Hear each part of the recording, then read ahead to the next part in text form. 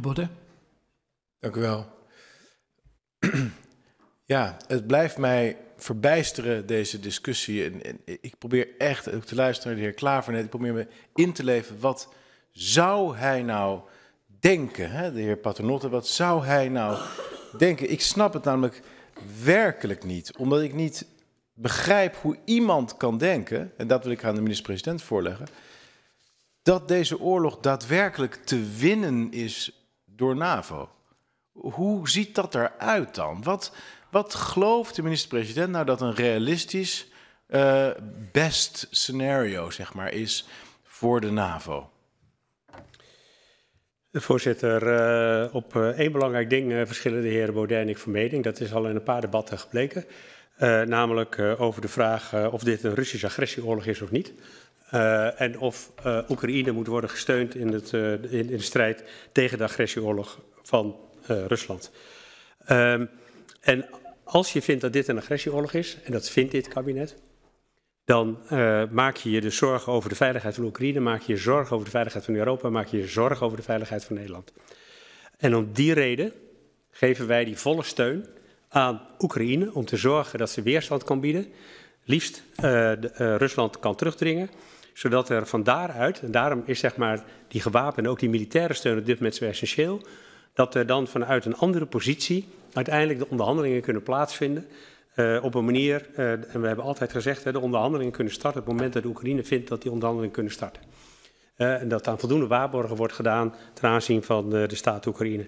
En dus dat, als het zover is, dan zullen die onderhandelingen plaatsvinden. En tot die tijd steunen wij Oekraïne onverminderd.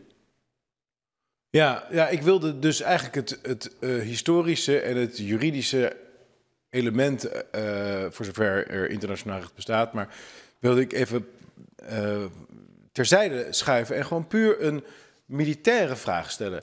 Want de, nu ook ook de minister-president zeggen, ja, op het moment dat Oekraïne zodanig situatie heeft bereikt dat enzovoorts. Maar wa wanneer is dat moment? Er is toch helemaal niets dat er op wijst op dit moment dat er zelfs maar gelijkwaardigheid is in militaire positie. Rusland heeft een overmacht als het gaat om de productie van wapens, als het gaat om militairen, als het gaat om kennis van het terrein, als het gaat om internationale bondgenoten, China, India, het Midden-Oosten, Zuid-Afrika, eh, noem het dan maar op. De hele wereld, zo'n beetje, behalve een paar landen in West-Europa en de Verenigde Staten, maar de rest van de wereld steunt gewoon Rusland. Dus er is toch geen enkele reële situatie te bedenken waarin de NAVO dit gaat winnen. Los van de, stel zou het de meest rechtvaardige oorlog in de wereld zijn, waar wij over van mening verschillen. Zelfs dan moet je toch constateren, er komt hier een vrachtwagen met 100 km per uur van links. Ik heb misschien theoretisch gezien voorrang, maar ik ga toch even stoppen. Want je wint het niet. Nooit. Dit gaat toch nooit gebeuren. Hoe langer die oorlog duurt, hoe meer geld het kost, hoe meer doden er vallen en hoe zwakker het Westen wordt. Nu om tafel, dat zou ik zeggen, te redden wat er te redden valt. Misschien is er nu nog iets van onderhandelingspositie over. Zometeen is er helemaal geen onderhandelingspositie meer over. Dan, dan uh, Odessa gaat gewoon naar Rusland. Misschien zeggen we, we pakken Kiev ook, we hebben geen zin. We pakken Moldavië ook, we hebben er geen zin meer in. Dat is volgens mij wat je gaat riskeren. Niet dat je nu een betere onderhandelingspositie krijgt. Integendeel, die, die gaat helemaal niet komen. Die, niet eens meer in zicht. Voorzitter, precies het beeld wat uh, de heer eh, Baudet schetst, namelijk uh, Moldavië tot aan Kiev, is precies wat we willen voorkomen met de steun aan Oekraïne tegen de Russische agressieoorlog. Ja, ik hoor dus, laatste, want ik wil nog interruptie overhouden voor het volgende onderwerp, maar ik hoor dus de hele tijd wensdenken. Ik hoor de hele tijd uh, doelredenering, dat willen we graag.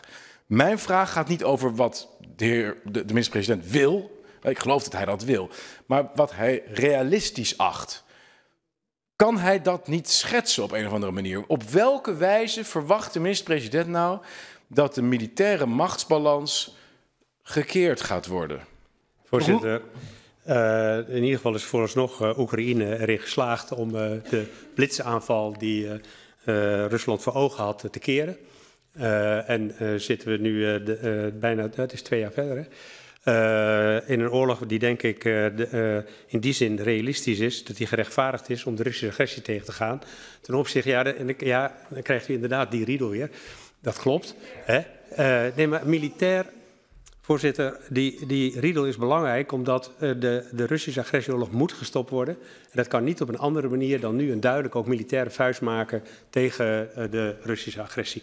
Anders kan dit nooit goed aflopen in het belang van een vrij en veilig Europa en een vrij en veilig Nederland.